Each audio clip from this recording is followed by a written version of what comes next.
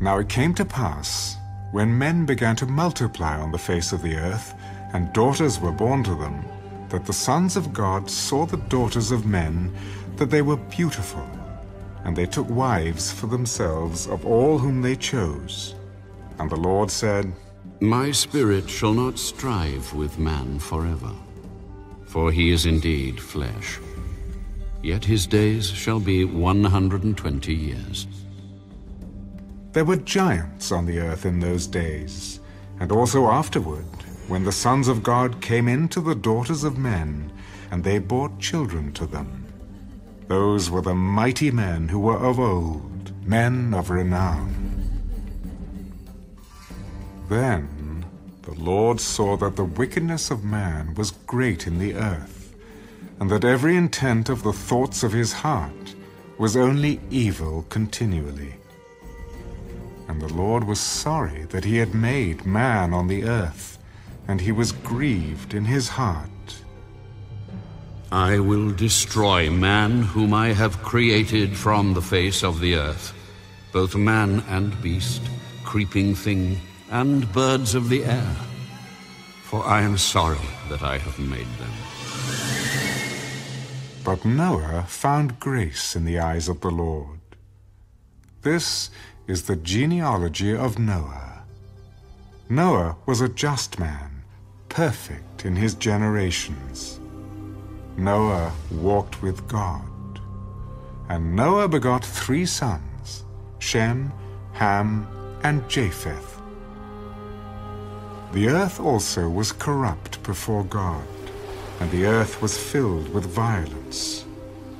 So God looked upon the earth, and indeed it was corrupt, for all flesh had corrupted their way on the earth. And God said to Noah, The end of all flesh has come before me, for the earth is filled with violence through them, and behold, I will destroy them with the earth. Make yourself an ark of gopher wood. Make rooms in the ark. and cover it inside and outside with pitch. And this is how you shall make it. The length of the ark shall be 300 cubits, its width 50 cubits, and its height 30 cubits. You shall make a window for the ark, and you shall finish it to a cubit from above, and set the door of the ark in its side. You shall make it with lower, second, and third decks. And behold, I myself am bringing floodwaters on the earth, to destroy from under heaven all flesh in which is the breath of life. Everything that is on earth shall die. But I will establish my covenant with you, and you shall go into the ark. You, your sons, your wife, and your sons' wives with you. And of every living thing of all flesh you shall bring two of every sort into the ark, to keep them alive with you. They shall be male and female, of the birds after their kind, of animals after their kind, and of every creeping thing of the earth after its kind. Two of every kind will come to you to keep them alive. And you shall take for yourself of all food that is eaten, and you shall gather it to yourself, and it shall be food for you and for them.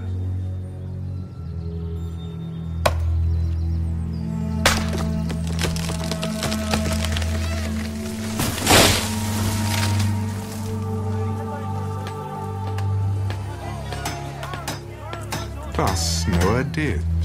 According to all that God commanded him, so he did.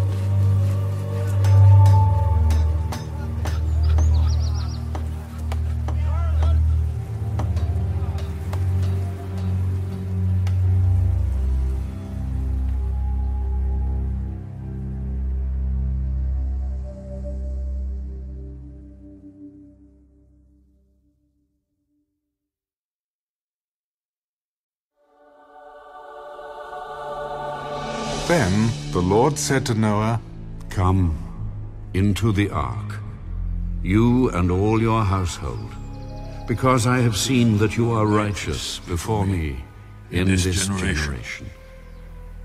You shall take with you seven each of every clean animal, a male and his female. Two each of animals that are unclean, a male and his female. Also seven each of birds of the air, male and female, to keep the species alive on the face of all the earth. For after seven more days I will cause it to rain on the earth, forty days and forty nights. And I will destroy from the face of the earth all living things that I have made. And Noah did, according to all that the Lord commanded him. Noah was six hundred years old when the flood waters were on the earth. So Noah, with his sons, his wife, and his sons' wives, went into the ark because of the waters of the flood. Of clean animals, of animals that are unclean, of birds, and of everything that creeps on the earth. Two by two, they went into the ark to Noah, male and female, as God had commanded them.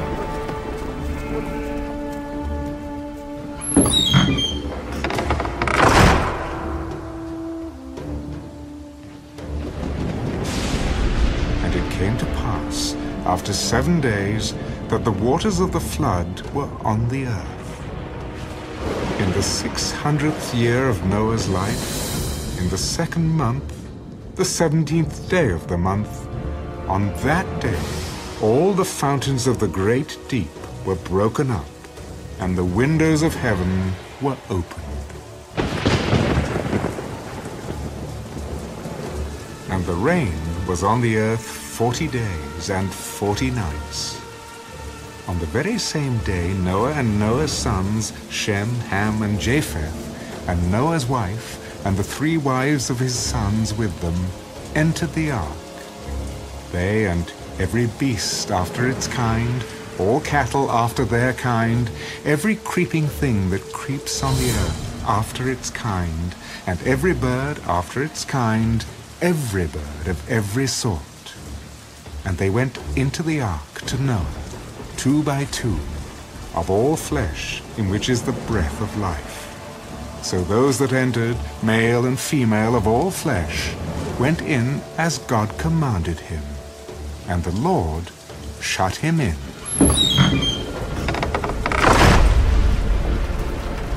Now the flood was on the earth forty days.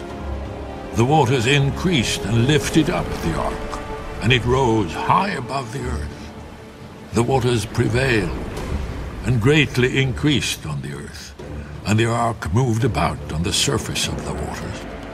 And the waters prevailed exceedingly on the earth, and all the high hills under the whole heaven were covered.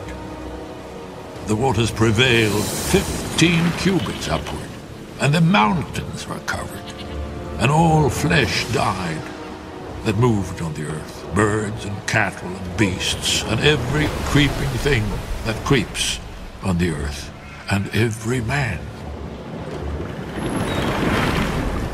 All in whose nostrils was the breath of the Spirit of life. All that was on the dry land died. So he destroyed all living things which were on the face of the ground, both man and cattle, creeping thing and bird of the air. They were destroyed from the earth. Only Noah and those who were with him in the ark remained alive. And the waters prevailed on the earth 150 days.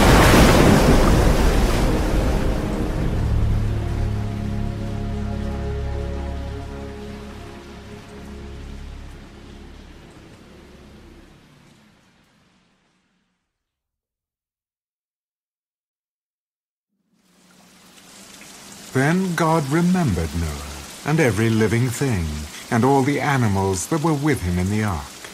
And God made a wind to pass over the earth. And the waters subsided. The fountains of the deep and the windows of heaven were also stopped, and the rain from heaven was restrained. And the waters receded continually from the earth. At the end of the hundred and fifty days, the waters decreased. Then the ark rested in the seventh month, the seventeenth day of the month, on the mountains of Ararat. And the waters decreased continually until the tenth month. In the tenth month, on the first day of the month, the tops of the mountains were seen. So it came to pass, at the end of forty days, that Noah opened the window of the ark which he had made.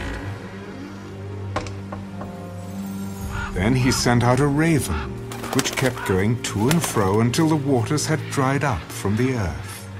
He also sent out from himself a dove, to see if the waters had receded from the face of the ground. But the dove found no resting place for the sole of her foot, and she returned into the ark to him, for the waters were on the face of the whole earth. So he put out his hand and took her, and drew her into the ark to himself. And he waited yet another seven days, and again he sent the dove out from the ark.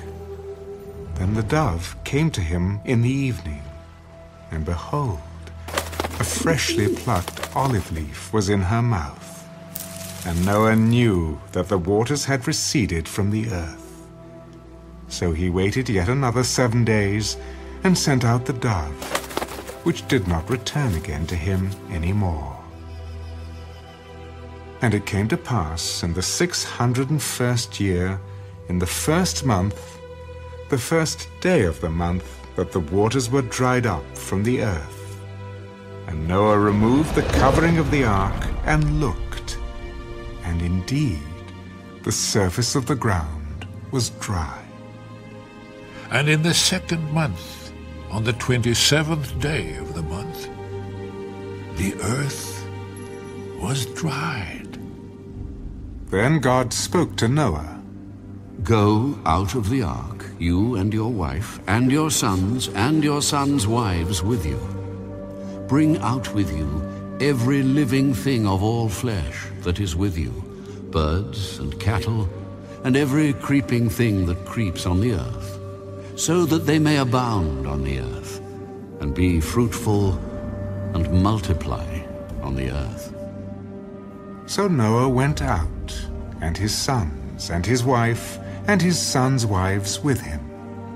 Every animal, every creeping thing, every bird, and whatever creeps on the earth, according to their families, went out of the ark.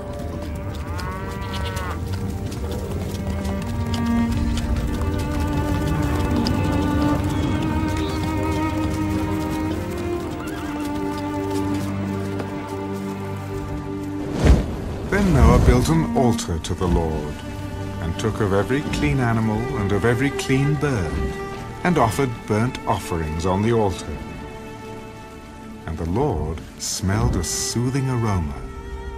Then the Lord said in his heart, I will never again curse the ground for man's sake, although the imagination of man's heart is evil from his youth. Nor will I again destroy every living thing, as I have done.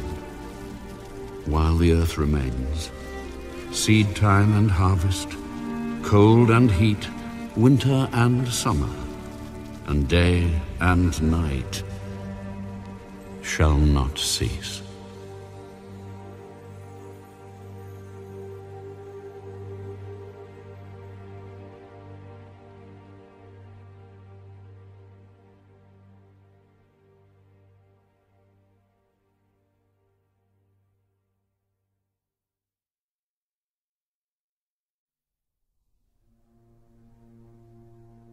So God blessed Noah and his sons. Be fruitful, and multiply, and fill the earth. And the fear of you and the dread of you shall be on every beast of the earth, on every bird of the air, on all that move on the earth, and on all the fish of the sea. They are given into your hand. Every moving thing that lives shall be food for you. I have given you all things, even as the green herbs. But you shall not eat flesh with its life, that is, its blood. Surely for your lifeblood I will demand a reckoning. From the hand of every beast I will require it, and from the hand of man. From the hand of every man's brother I will require the life of man. Whoever sheds man's blood, by man his blood shall be shed. For in the image of God he made man. And as for you, be fruitful and multiply. Bring forth abundantly in the earth, and multiply in it. And as for me, behold, I establish my covenant with you, and with your descendants after you, and with every living creature that is with you, the birds, the cattle, and every beast of the earth with you, of all that go out of the ark, every beast of the earth. Thus I establish my covenant with you. Never again shall all flesh be cut off by the waters of the flood. Never again shall there be a flood to destroy the earth. This is the sign of the covenant which I make between me and you, and every living creature that is with you, for perpetual generations. I set my rainbow in the cloud, and it shall be for the sign of the covenant between me and the earth. It shall be, when I bring a cloud over the earth, that the rainbow shall be seen in the cloud. And I will remember my covenant, which is between me and you and every living creature of all flesh. The waters shall never again become a flood to destroy all flesh. The rainbow shall be in the cloud, and I will look on it to remember the everlasting covenant between God and every living creature of all flesh that is on the earth.